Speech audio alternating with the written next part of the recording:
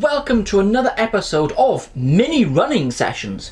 Now, we did have a uh, small gap last week, uh, that was to do with the swap over between the two layouts. As you know, the Shunton layout has gone, and today is the first proper mini running session here back on the main layout, Jubilee Road, which is rather exciting. Um, so, this is what won the vote over on the Facebook page this week. You had a choice between the BR Green 121, which you can see in front of you now, or the Arriva Trains Wales 121.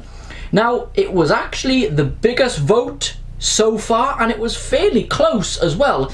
There was only a few votes between the two, but this one came out on top, and you can really see why. Just look how nice this looks.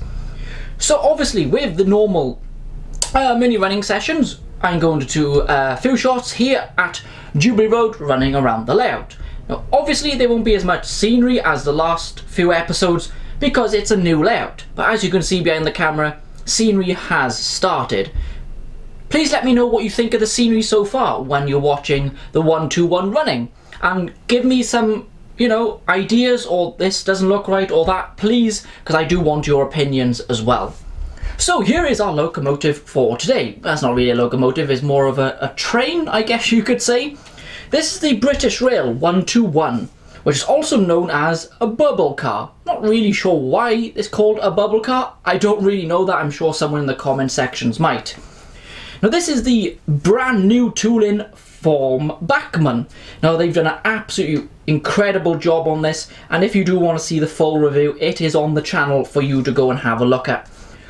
Perfect detail, comes in a great lighting kit, as you can see there all the lights are on, runs really smoothly and great livery application, really top model, so as I said, if you want to go and have a look at that on the channel, please feel free. So the, the vote will return again over on the Facebook page on Thursday with another two locos for you to choose from. So if you're not a member of the Facebook page, pop over there, just go onto Facebook and type in Jubilee Road Model Railway, you'll easily find it. Don't have to like the page, that's completely up to you. Come over there and vote for your loco that you want to see in these mini running sessions every Sunday afternoon. So, I'm going to leave you with the running session with the 121 and I'll be back here very soon at Jubilee Road or on location. Enjoy this mini running session.